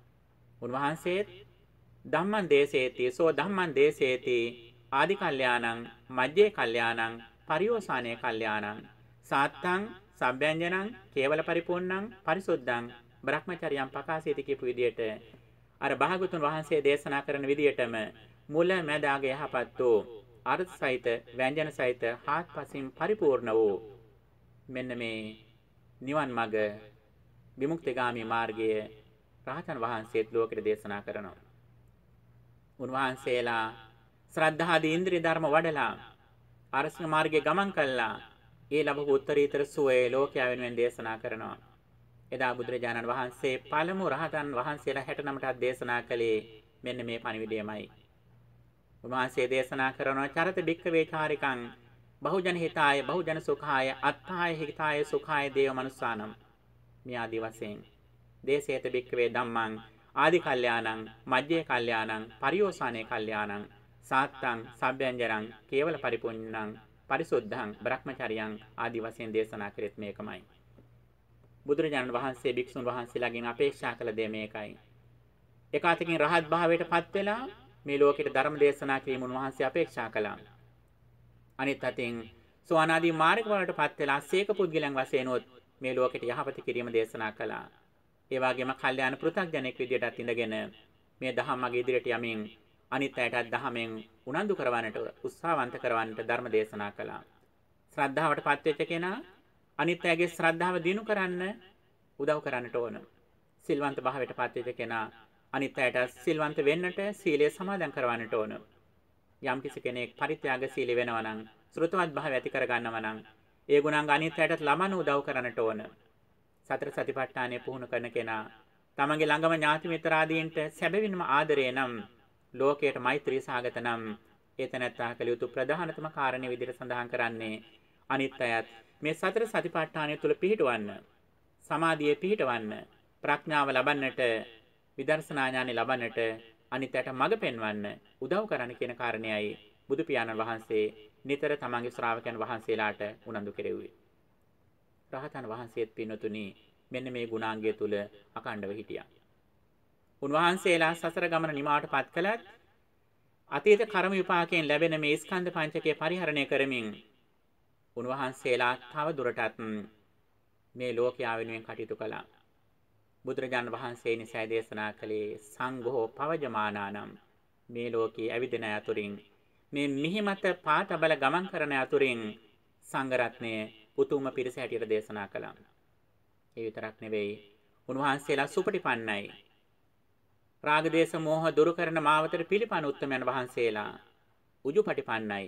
ආරස්නිංග මාර්ගයට පිළිපන් උත්තමයන් වහන්සේලා ඥායපටිපන්නයි. ඥානෙ ලබන මාවතට පිළිපන් උත්තමයන් වහන්සේලා සාමිජි ප්‍රතිපන්නයි. ඊටාම අලංකාර වූ මාවතට පිළිපන් උත්තමයන් වහන්සේලා. උන්වහන්සේලා ආහුනේය පාහුනේය දක්ඛිනේය අංජලි කරණීය. දුරින් ඉඳලා ගෙනත් දෙන දේ පිළිගන්න සූදානම්. ආගන්තුකයන් සඳහා සෝදානම් කරපු දේ පිළිගන්න සූදානම්. ලෝකයාගේ වැඳුම් වලට පුදුසැලකි වලට උන්වහන්සේලා සුදුසුයි. ඇඳිලි බැඳ වන්දනා කරන්නට උන්වහන්සේලා සුදුසු වුණා. එපමණක් නෙවෙයි උන්වහන්සේලා අනුත්තරම් පුඤ්ඤක්කෙත්තන් ලෝකස්ස ලෝකයාගේ අනුත්තර පින්කෙත වුණා. ලෝකයාට පින් නැමැති බීජ වැපිරීමට තියෙන උතුම්ම වූ පින්කෙත බවට පත් උනේ මේ ස්වාමින් වහන්සේලා. අන්නේ ස්වාමින් වහන්සේලා අතුරුනොත් ඉහළමසේ බුදුරජාන් වහන්සේගේ සම්භාවනාවට පාත්‍ර උනේ රහතන් වහන්සේලා.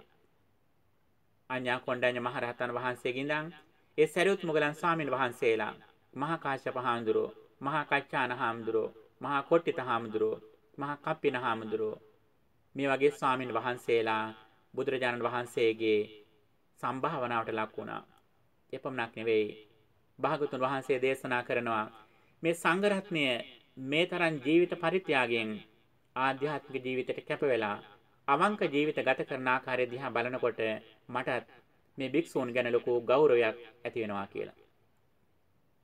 එපමණක් නෙවෙයි භාගතුන් වහන්සේ දා මහා ප්‍රජාපති ගෝතිමට දේශනා කළේ එදා සිවුරු පූජා කරන අවස්ථාවේදී මහා ප්‍රජාපති ගෝතමියගේ දෑතින්ම සිවුරු සකස් කරගෙන ඇවිල්ලා භාගතුන් වහන්සේට පූජා කරන්න සෝදානම් වෙච්ච අවස්ථාවේදී උන්වහන්සේ දේශනා කළේ සංඝේ ගෝතමී දේහි සංඝේ දින්නේ මමංච දින්නම් හෝති කියලා.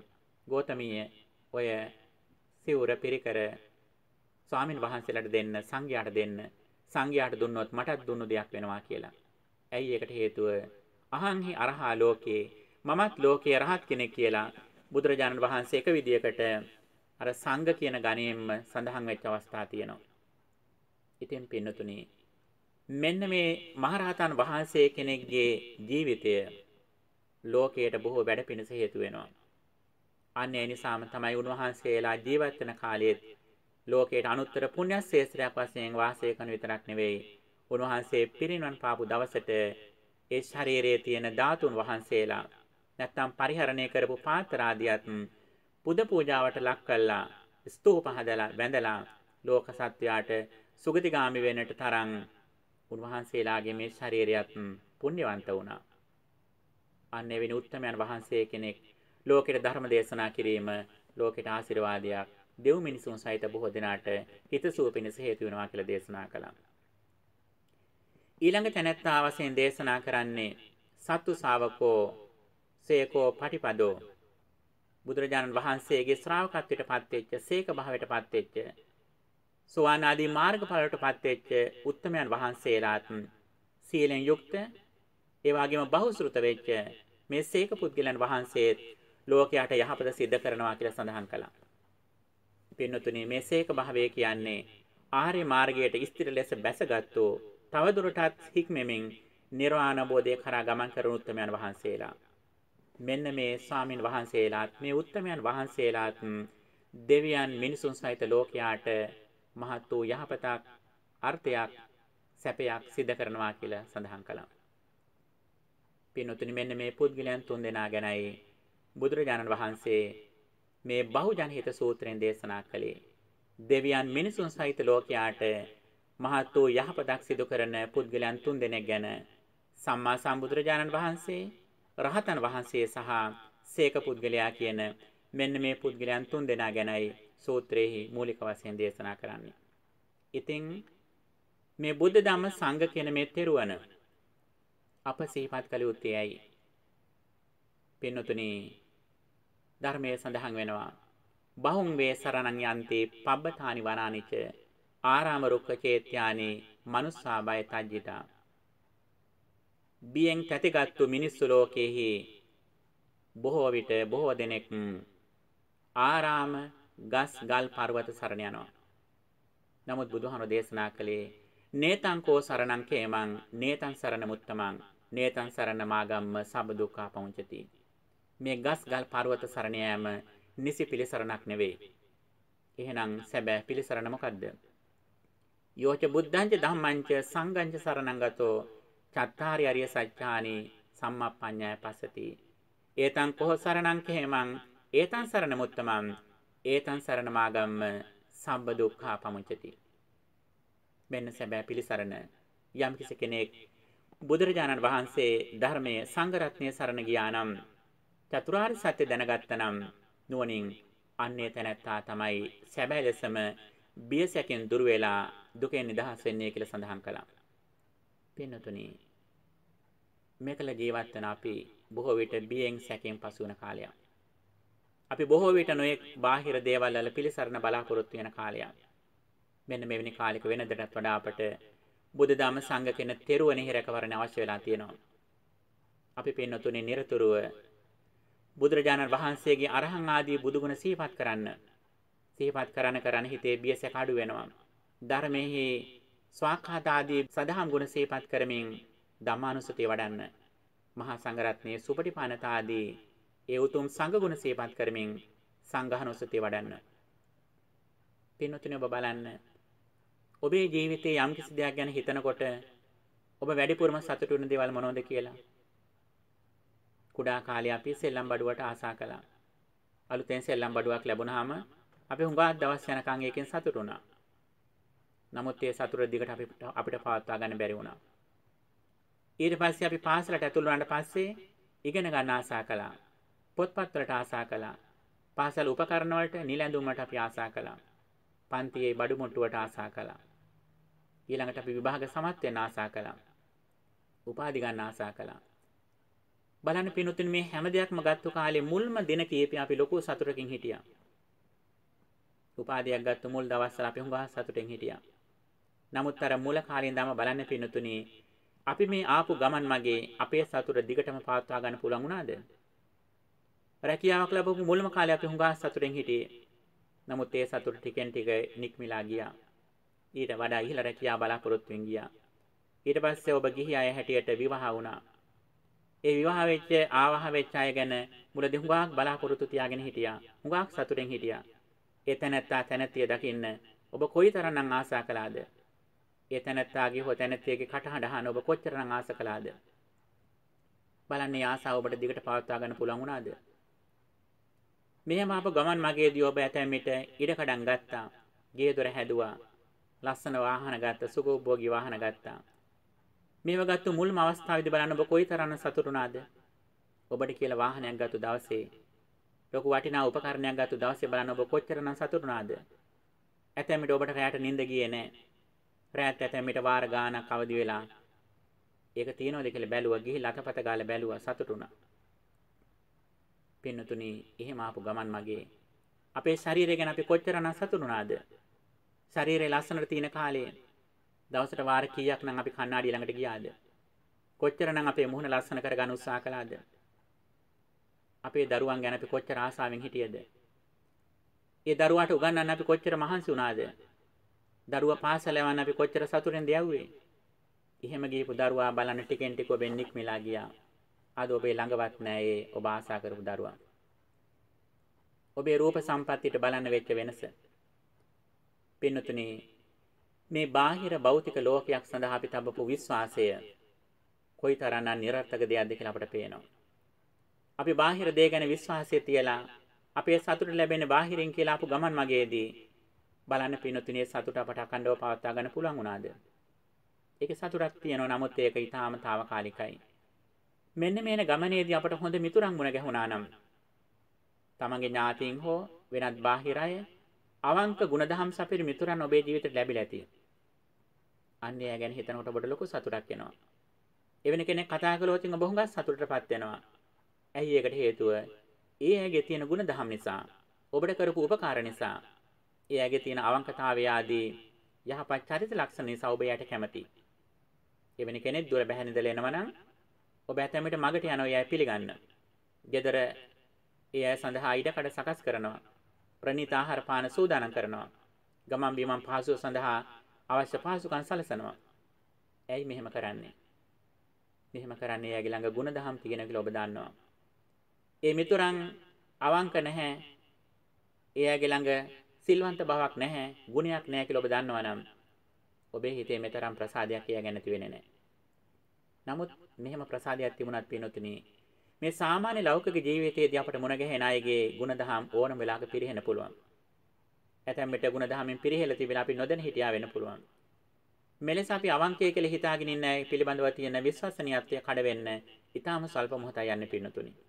නමුත් අපි මේ බුද්ධ ධම්ම සංඝ කියන තෙරුවන ගැන අපි විශ්වාසය තියාගත්තොත් උන්වහන්සේලා කවදාවත් ගුණෙන් පිරිහෙන අය නෙවෙයි. බුදුරජාණන් වහන්සේ කිසිදාක ගුණෙන් පිරිහෙන උත්මයෙක් නෙවෙයි. මාර්ගඵලලාභී උතුමන් කිසිදාක ඒ තියෙන තත්ත්වෙන් පිරිහෙන අය නෙවෙයි. එන්න එන්නම ගුණෙන් දිනු වෙනවා. අන්න ඒ නිසා තමයි පින්නතුනි අපට ජීවිතේ වැඩිපුරම සතුට ලැබෙන අකණ්ඩව සතුට පවත්වා ගත හැකි දෙයක් ගැන අප නිතර සිහිපත් කළ යුතුයි. ඒ තමයි බුදුරජාණන් වහන්සේ ගැන සිහිය පිහිටුවා ගන්න. හැකිතාක් බුද්ධානුස්සතිය වඩන්න. ධර්මයේ ගුණ සිහිපත් කරන්න, ධම්මානුස්සතිය වඩන්න. සුපටිපන්නත ආදී සංඝ ගුණ සිහිපත් කරමින් සංඝානුස්සතිය වඩන්න. මේව වඩන්න වඩන්න පින්නතුනි තමන්ට දවසට වැඩිපුර මතක් වෙන්නේ බුදුරජාණන් වහන්සේ සද්ධර්මය මහා සංඝරත්නය ආර්ය මහා සංඝරත්නය මේ සිහිපත් වෙන මොහොතක් පාසම අපේ හිත හදවත සතුටෙන් පිරී ඉතිරිලා යනවා.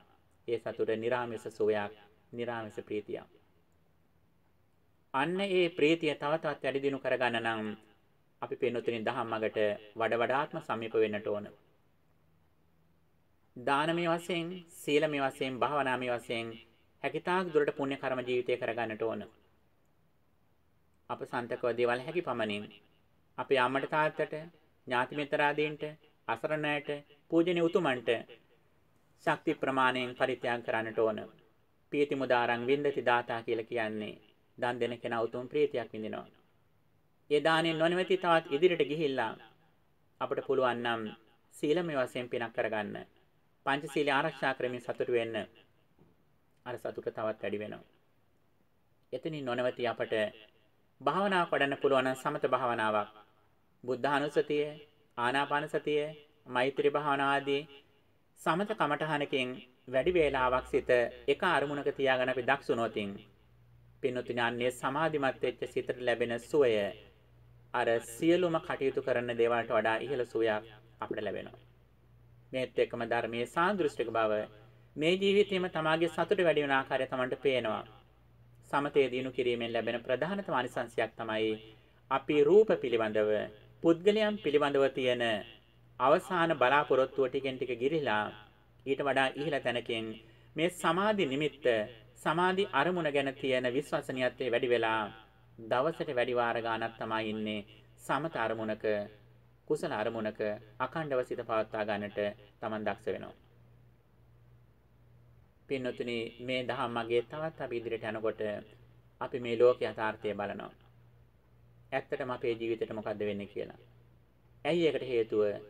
අර අපි මුලින් ලැබපු සතුට පුඤ්ඤාභි සංඛාර හෝ ආනෙන්ජාභි සංඛාර වශයෙන් රැස් කරගත්තු සංස්කාර මේ ලෝක චක්‍රය තුල සංසාර චක්‍රය තුල මිදගෙන විඳින සුවයක්.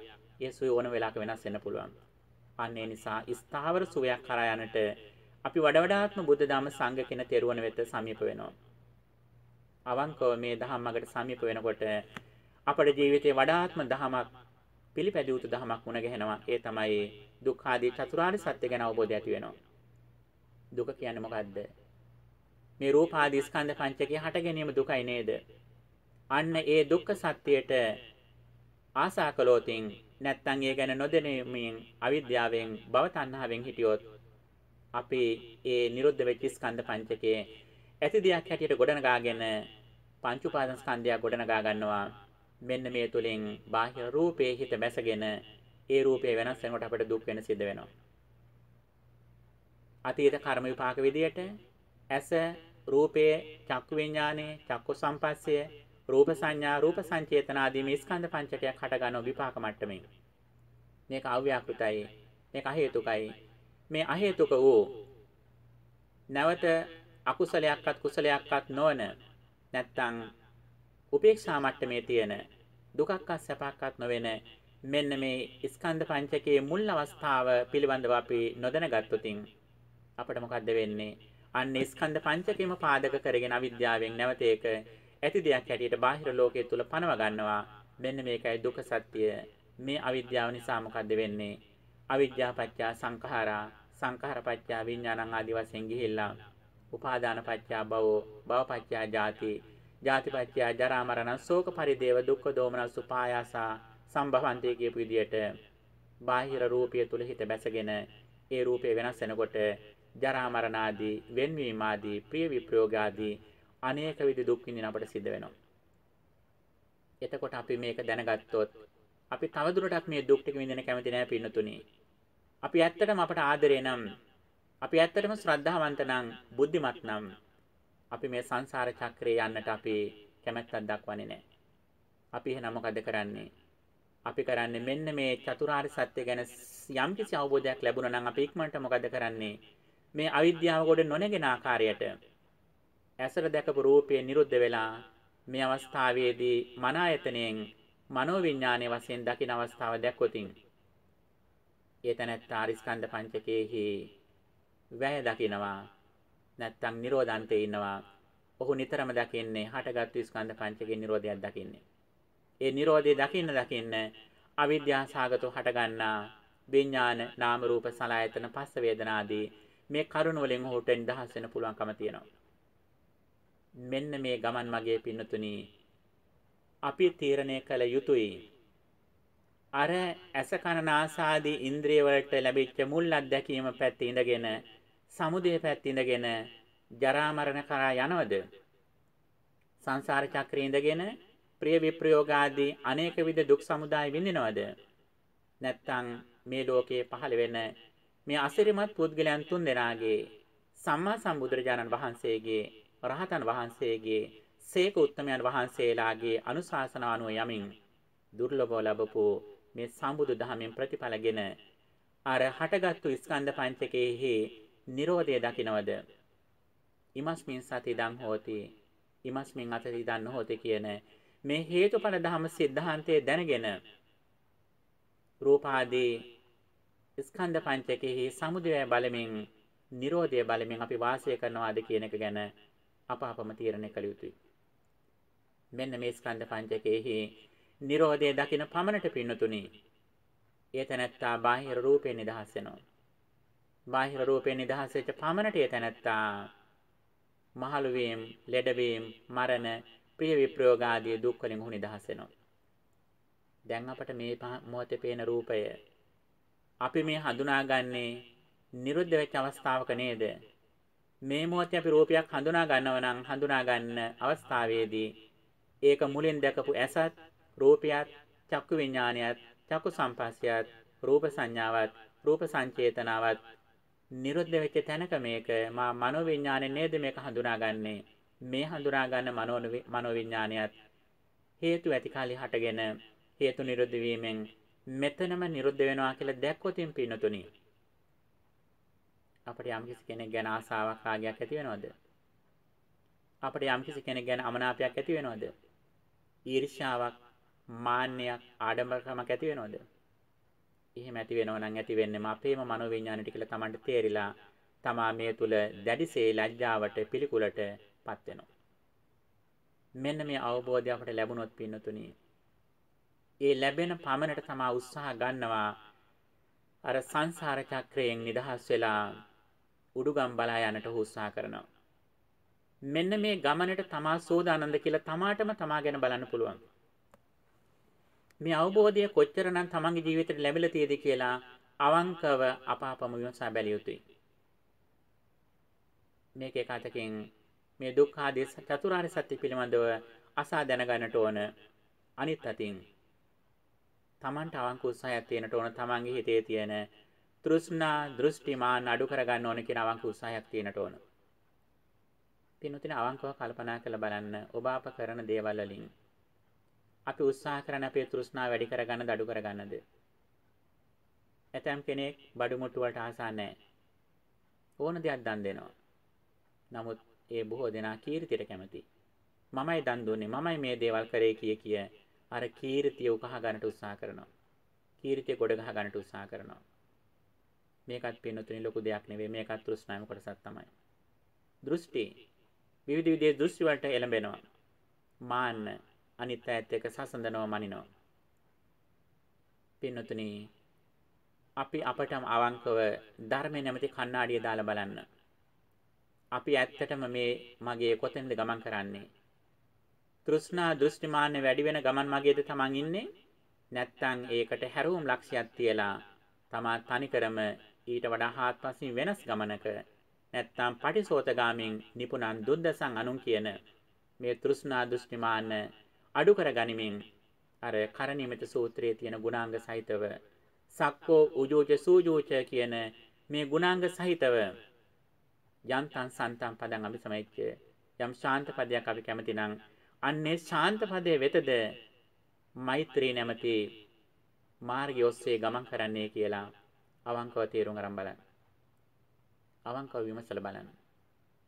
පින්නතුනි මේ ගමන් මගේ අඩුවක් තියෙනවා නම් ඒ අඩුව කියන්නේම චතුරාර්ය සත්‍ය තේරුම් ගැනීම අඩුවමයි. ඒ නිසා වඩ වඩාත්ම මේ දුක්ඛාදී චතුරාර්ය සත්‍ය තේරුම් ගන්න උත්සාහ කරන්න. රූපාදී ස්කන්ධ පංචකයේ තේරුම් ගන්න උත්සාහ කරන්න. ඇස ආදී ආයතනවල ස්වභාවය තේරුම් ගන්න උත්සාහ කරන්න. රූප, ශබ්ද ආදී බාහිර අරමුණු ගැන තේරුම් ගන්න උත්සාහ කරන්න. මේව තේරුම් ගන්න ගන්න Tamanට තේරෙනවා. මේ හැම දෙයකම ලක්ෂණය පෙර නොතිබී හටගෙන ඉතුරු නැතුවම නිරුද්ධන ස්වභාවයන්. අහුත්වා සම්බුතං හුත්වාන භවිෂති කියන්නේ මේකයි. යං කිජ්ජ සමුදය ධම්මං සබ්බන්තං නිරෝධ ධම්මං කියන්නේ මේකයි. මෙන්න මේ ගමන් මගිය අපි හිටිය පමණට පින්නතුනි. අපට එන්න එන්නම පේනවා තමා ආධ්‍යාත්මික විහිලට යන කෙනෙක් කියලා. නිතිපතාම Tamanට පේනවා Tamanගේ හිතේ තියෙන ලෝභය ටිකෙන් ටික අඩු වෙන හැටි පේනවා.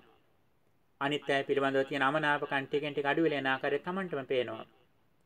බාහිර රූපය තුල මුලාවන අවිද්‍යාව සහ භව තණ්හාව ටිකෙන් ටික අඩු වෙලා බාහිර රූපයක් දකිනකොටම මේ නිරුද්ධ වෙච්ච රූපයක් නේද? කනට ශබ්දයක් ඇහෙනකොටම මේක තේරුම් ගන්නේ නිරුද්ධ වෙච්ච ශබ්දයක් නේද? නාසයට ගඳ සුවඳක් දැනෙනකොටම මේ දැන් ගන්ධය විඳින්නේ අර ගාහනියත් ගන්ධයත් ගහන විඥානයත් නිරුද්ධ වෙච්ච තැනක නේද? දිවට රසයක් එනකොට ඒ රසය ඔබ විඳ ගන්නකොට රසය තේරුම් ගන්නකොට ඒ තේරුම් ගන්නේ දිවත් රසයත් ජීවහා විඥානයත් නිරුද්ධ වෙච්ච තැනක ඒ මුල් ස්කන්ධ පංචකේ නිරුද්ධ වෙච්ච තැනක මේ නව කර්ම විදියට නේද තමා හඳුනාගන්නේ කියන එක තේරුම් ගන්න දක්ෂ වෙනවා. ශරීරයට පහසක් ලැබෙනකොට යම්කිසි බඩු භාණ්ඩයක් අල්ලලා හෝ නැත්නම් යම්කිසි පුද්ගලයෙක් අල්ලලා කිසියම් පහසක් ස්පර්ශයක් විඳලා කිසියම් සතුටක් භුක්ති විඳිනවා නම් අන්නේ සතුට විඳින අවස්ථාවේදී ඊට මුල් වෙච්ච මුල් කයත් ස්පර්ශයත් කාය විඥානයත් කාය සංපස්සයත් නිරුද්ධ වෙච්ච තැනක නේද මේ මන ආයතනෙන් අරගෙන තමා මේ දුක් සැප විඳින්නේ කියන එක තමා තේරුම් ගන්නවා. මෙහෙම තේරුම් ගන්න පමණට පින්නතුනි තමන් එන්න එන්නම මේ බාහිර රූපෙන් නිදහස් වෙනවා.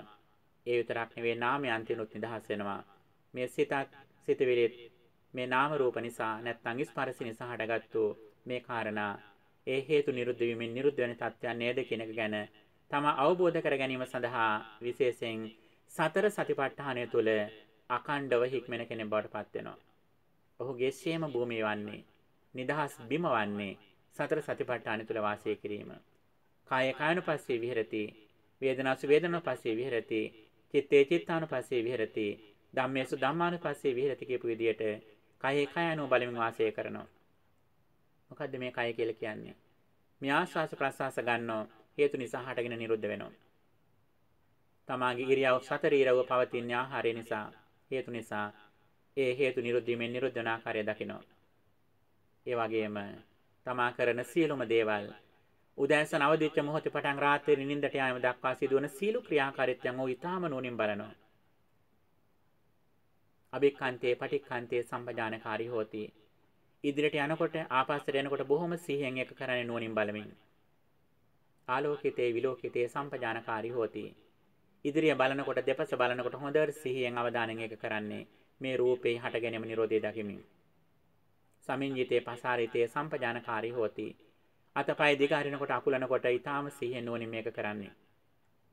සංඝහටි පත්ත චීවර ධාරණේ සම්පජානකාරී හෝති. ස්වාමින් වහන්සේ කෙනෙක් නම් සිවුරු පරිහරණය කරනකොට ගිහියත් එක් නම් තමන්ගේ ඇඳුම් පැළඳුම් පරිහරණය කරනකොට ඊටාම සිහියෙන් එක් කරන්නේ. උච්චාර පස්සාව කම්මේ සම්පජානකාරී හෝති. ශරීර කෘත්‍යයන් කරනකොටත් ඊටාම සැලකිල්ලෙන් අවධානයෙන් සිහියෙන් කරන්නේ. මේ ආහාරයෙන් හටගත්තු රූපයක ස්වභාවයක් නේද කියලා ඔහු තේරුම් අරගනිමින් කරන්නේ. අසිතේ පීතේ කායිතේ සායිතේ සම්පජානකාරී හෝති. ආහාර පාන ආදී අනුභව කරනකොට ඔහු සිහියෙන් එක කරන්නේ. ගතේටිතේ නිසින්නේ සුත්තේ ජාගරිතේ භාසිතේ තුන්හි භාවයේ සම්පජානකාරී හෝති. ගමන් බිම යනකොට ඔහු නිදා ගන්නකොට සැතපෙනකොට කතා කරනකොට කතා නොකරනකොට මේ හැම වෙලාවෙම මේ රූපය පිළිබඳව අවධානයෙන් මේ රූපය කියන්නේ ස්ථිර වශයෙන් තියෙන කෙනෙක් නෙවෙයි අත්තිකායෝතිවා පනස සති පච්චපට්ඨිතා හෝති. යාව දේව ඥානමත්තාය අනිසිතෝච විහෙරති. මේ කය කියලා දෙයක් තියෙනවා. හැබැයි මේක ස්ථිර පුද්ගලයක් නෙවෙයි. මේක හේතු නිසා හටගෙන සමුදය ධම්මානුපස්සේ විහෙරති වය ධම්මානුපස්සේ විහෙරති කියපු විදිහට මේක ශරීරය කියන්නේ ආහාර ආදී හේතු නිසා හටගෙන. ඒ වගේම අතීත හේතු වශයෙන් තියෙන අවිද්‍යා කර්ම තෘෂ්ණා. මෙන්න මේ තුනත් මේ තුන නොදැන ගැනීම නම් වූ නිබ්බති ලක්ෂණ නොදැනීම. නිබ්බති ලක්ෂණ නොදැනීම කියලා කියන්නේ අර අවිද්‍යාව කර්මය තෘෂ්ණාව සහ ආහාර කියන මේ හේතු පිළිබඳව අනුබෝධයට කියනවා නිබ්බති ලක්ෂණ නොදැනීම කියලා. අන්නේ නොදැනීම නිසා මේ ශරීරය ඇති දෙයක් විදිහට ගන්නවා. ගැනීම නිසායි මේ සියලු දුක් ඇති වෙන්නේ කියලා දැකලා ඒ දැනත්තා මේ හේතුඵල ධම දකිමින් ජීවිත අවබෝධයට පත් වෙනකොට අනිසිතෝච විහෙරති නච කිංචි ලෝකේ උපාදීයති. ඔහු මේ කිසිවක් තෘෂ්ණා දෘෂ්ටිමාන වශයෙන් ඇසුරු නොකර නිස්රය නොකර ඔහු කාලය ගත කරනවා. අනිසිතෝච විහෙරති නච කිංචි ලෝකේ උපාදීයති කිසිවක් උපදි වශයෙන් ගන්නතුව ඔහු මේ හේතුඵල ධම දකිමින් විරාගී ජීවිතයක් ගත කරන පුද්ගලයෙක් බවට පත් වෙනවා.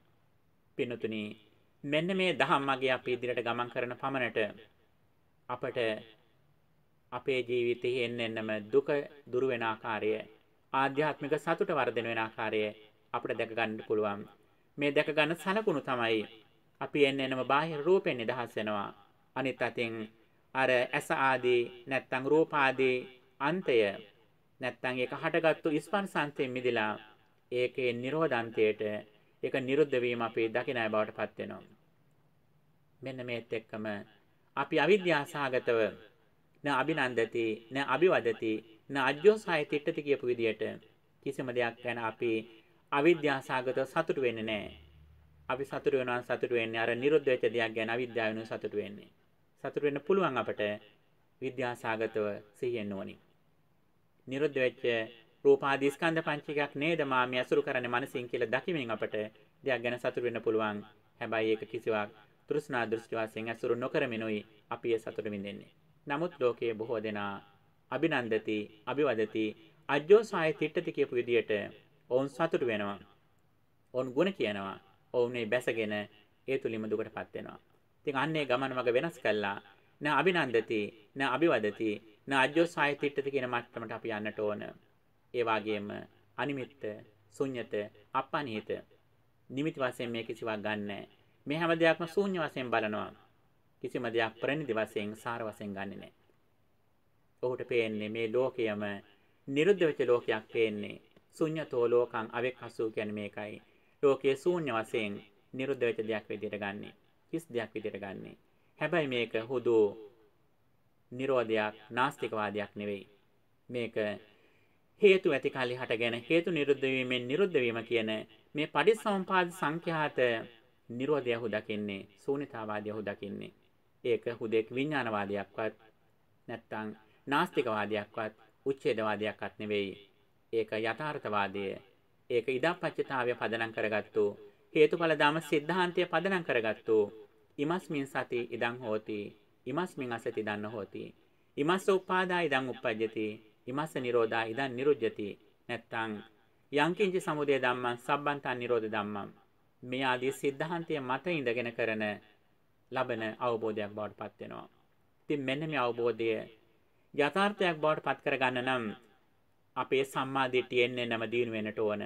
ඒ සම්මා දිටිය දිනු වෙන ප්‍රධාන සාධකය තමයි කල්යාණ මිත්‍රාශ්‍රයෙන් ධර්ම ශ්‍රවණය කිරීම. ධර්ම ශ්‍රවණය කරමින් සම්මා දිට්ඨිය ලබනවත් එක්කම තවත් අපි කරුණු කිහිපයකින් උපකාරවත් බව ලබන්නට ඕන. ඒ මොනවද? මේ සම්මා දිට්ඨියට සීලෙන් උපකාරවත් බව ලබන්නට ඕන. ශ්‍රුතවත් භාවයෙන් උපකාරවත් බව ලබන්නට ඕන.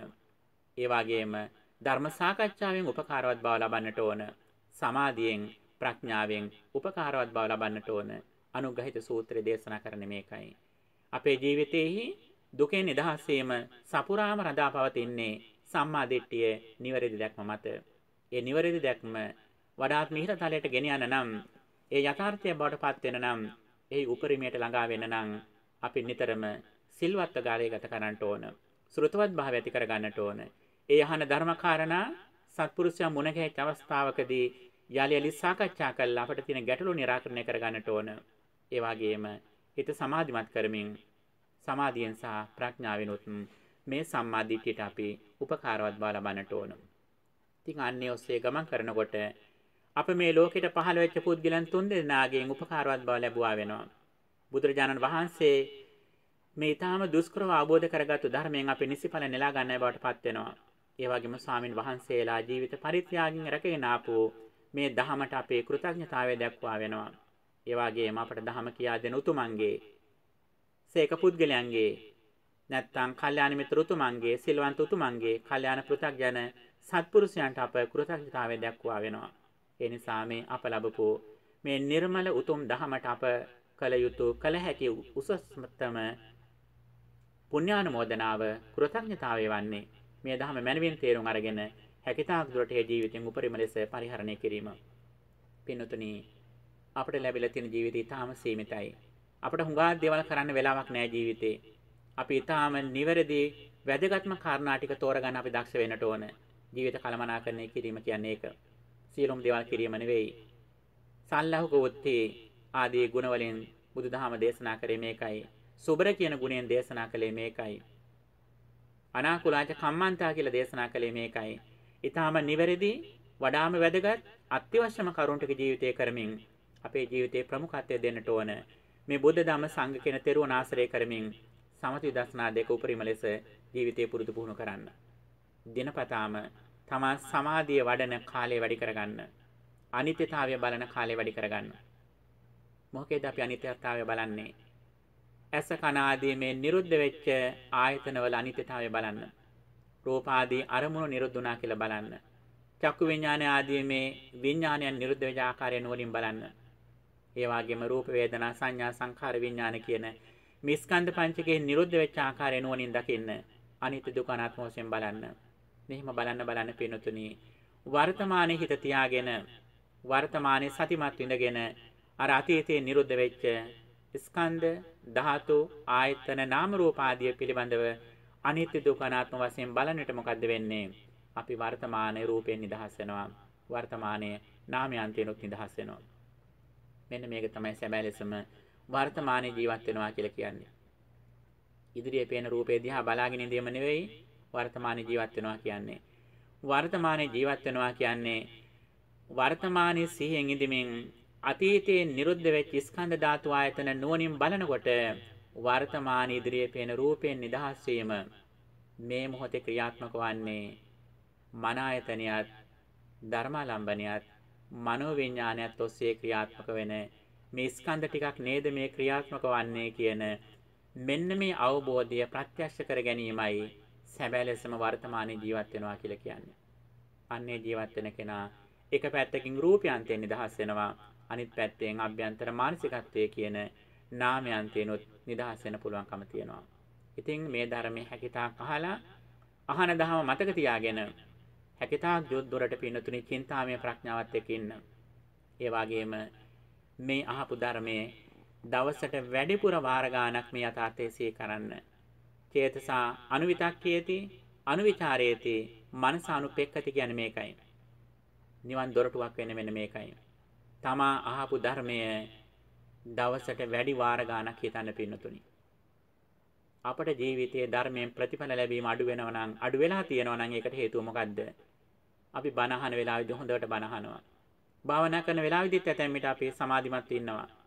නමුත් අනිත් සාමාන්‍ය ජීවිතයේදී අපි සම්පූර්ණම අවිද්‍යාසගතව ඉන්නවා.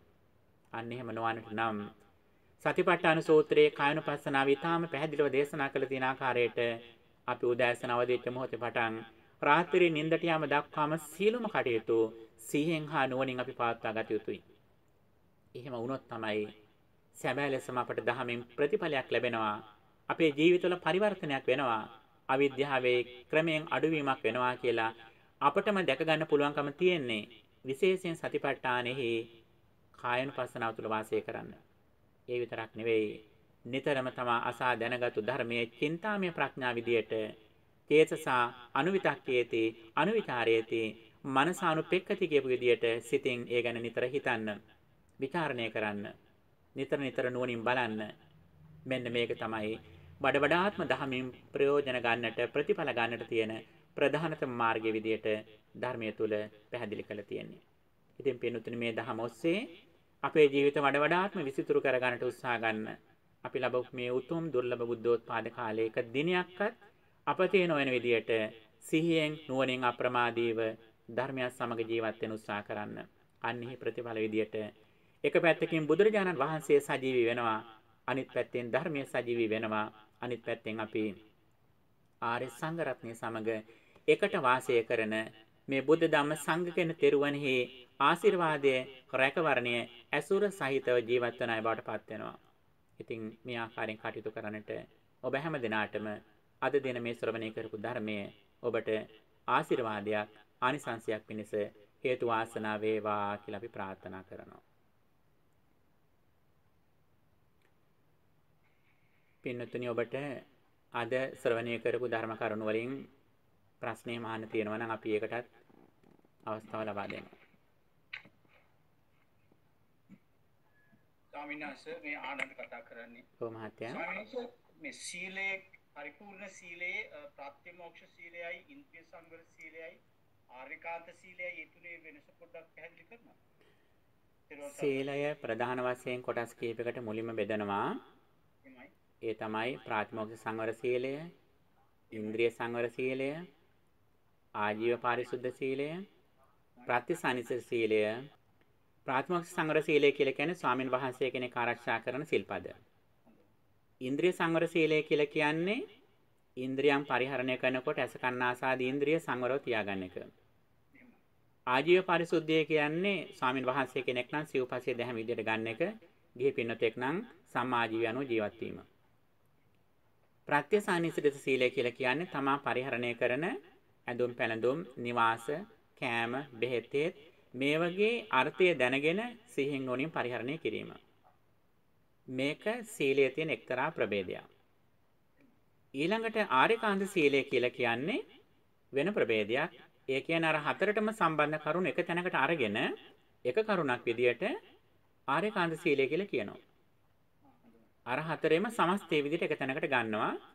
ඒක එක එක මට්ටමින් ගිහි කෙනාට නම් පංචශීලය නැත්තම් ස්වාමීන් වහන්සේ කෙනෙක් නම් සාමණේර ස්වාමීන් වහන්සේ කෙනෙක් නම් ඒ රකින්න දස සීලය උන්වහන්සේ රකින්න සේකියා ටික උපසම්දා ස්වාමීන් වහන්සේ කෙනෙක් නම් ඒ උපසම්දා සීලයට අදාළ සිල්පද 220 නැත්නම් 227 ඒ විදිහට තමයි ආර්යකාන්ත සීලය විස්තර වෙන්නේ.